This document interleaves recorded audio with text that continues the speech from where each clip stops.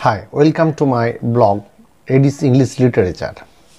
Today we are going to discuss about Old English uh, Anglo-Saxon poetry uh, that uh, roughly begins uh, from 5th century and it continued till 11th century. So in this uh, range or in this period there are so many poems written uh, partly lost but we have plenty of text uh, still remaining by which we can sum up the Anglo-Saxon people's lifestyle, their ethics, their uh, style of um, utterances and social behaviors and all such things. But uh, the pagan poetry, the segment that we are going to discuss today is non-religious text. So as we are talking, after the withdrawal of uh, Romans, Jute Saxons and uh, Anglic uh, three Germanic tribes settled in the sea coast and first, uh, first of first of all they conquered the land and drive away the Celtic British that is uh, Celtic Briton that we popularly speak them the earliest uh, settler there they were driven away from or rather enslaved there and gradually um, these Anglo-Saxon people uh, develops, develops their intertrade and settled in every sphere of uh, their life.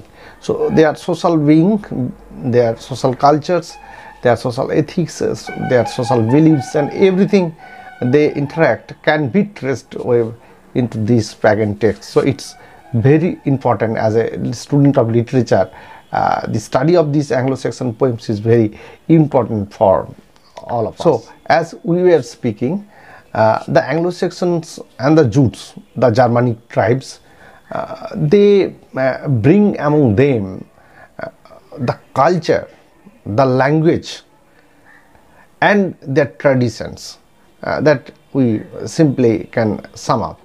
Their language that's, that they speak, their beliefs, that is non-Christian, that is pagan and that distinct warrior instinct. Okay, so these three principles by which uh, they invade Roman Roman colony and driven away the Britons in the 5th and 6th century, that very spirit were alive in Anglo-Saxon pagan text. So we, we if we read all these texts of pagan text, then we will uh, readily get the glimpse of the uh, these peoples, tribal peoples, the, where the earlier settlers in Britain. If we go through the texts, we can easily get who the Anglo-Saxons are or what type of culture or beliefs they were in. They were warriors, fierce warriors. They love the blue sea. Uh, the, they are the seafarers. They have the quality to navigate the sea with force, with might and their manly heroism and their hard toils everything makes anglo-saxon truly to their name and uh, truly their poetry are heroic because their bravery their um, ba battleship their wa warrior qualities and their heroic traits are being exhibited everywhere in pagan here uh, we come across generally some elevated male-centered issues of a tribal community, of the ties of royalty between lord and liegeman, and the significance of the individual heroisms, and most notably, the powerful fate that are invading in their life is also becomes a pivotal character in their writing.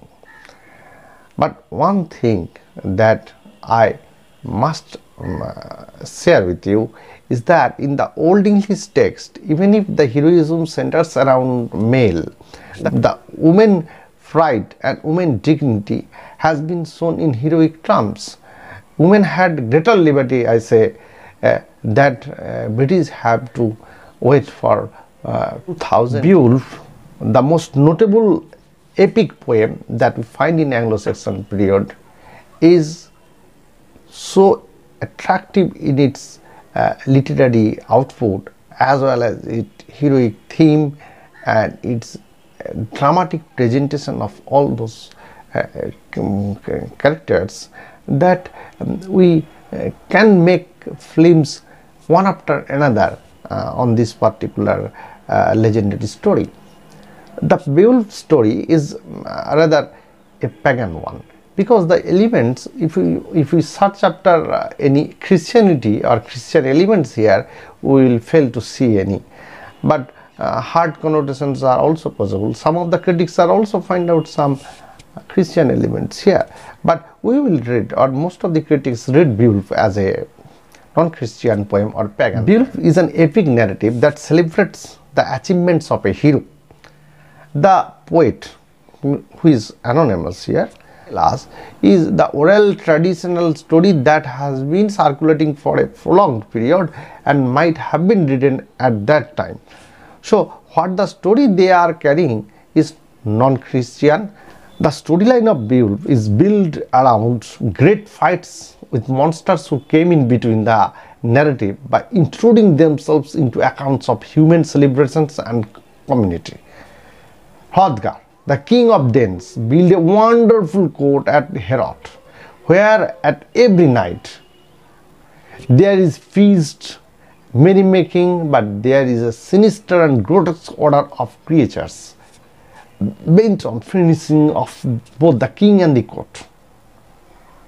Monster Grendel, under the cover of dark night, intrudes into the court and kills many of the knights, many of the king's friends this thing continues for long 15 years.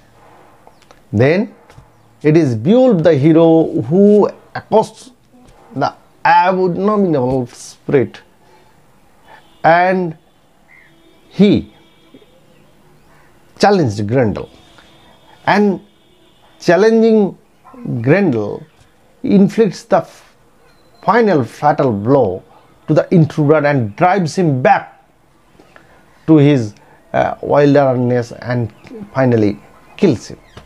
So Beowulf becomes a hero as by the invite of the king he comes and invades that giant who was disturbing and finally jabs him. There is euphoria and jubilation most probably there is a triumph that the king and the other knights were not expecting. So Beowulf's heroic deed has made everything jubilant. The triumph of the Beowulf over the Grendel, the, uh, the, the, malevolent monster or the, um, the very uh, black uh, in compared to very bright of uh, Beowulf. But as Grendel has been defeated, soon pops up another enemy, that is Grendel's mother, who wants to avenge her son's death and mounts a new attack on Heorot. He like to make a final blow. Beowulf, in fact, gets ready for it and chases her into her water retreat and with his followers, Beowulf followed her till to the end, running through the inhabitable deserts, empty ponds and black sea cliffs, he ultimately and finally kills the monster. After taming the unsafe and cold wild world of beasts, the inheritance of the outcast, the exile, and the outsider, the Beowulf, gets honors and rewards in his homeland. It is quite appreciating one that he has done something heroic by killing a monster and the mother. He later becomes the king of Geats for his heroic deeds and rules for plenty of years without any disturbances. In the old age, Beowulf once again journey towards uncanny, unknown, unseen world to fight a new battle but everyone, everyone was requesting Beowulf not to go into that desert land once again at this age. But he was ready. He was ready because death is better for a warrior than a life of till the last minute. And he was finally and fatally wounded and dies the death of an epical hero. 3000 lines and then it's supposed to be the oldest text surviving epic in Teutonic people anterior to the Scandinavian sagas and considerably older than the great medieval romances of southern Europe. So Beowulf is linguistically arresting one and um, as for the interest for sociological perspective it also interests many scholars to find out the heroic traits that are, being exhibited in Beowulf is rather a heroic traits that every Anglo-Saxon people adores in their heart. So studying Beowulf might have been a proper study of Anglo-Saxon. We can also uh, tell that Beowulf is a sage of primitive race.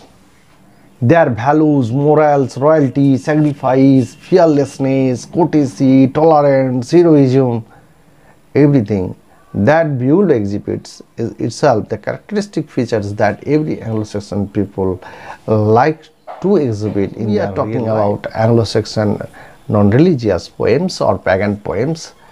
Uh, there are a few of the examples of other poems uh, apart from Beowulf which are also reflecting the social and military as well as fidelity as well as some kind of uh, relationship are being exhibited in other poems notably the battle of Maldon, the death of Byrhtnoth and uh, the fight of Finnsburh. These texts are very interesting to read in itself but Beowulf stands, uh, stands alone as an epic. Other poems are notably important but not so uh, the intensity is like that of a Beowulf.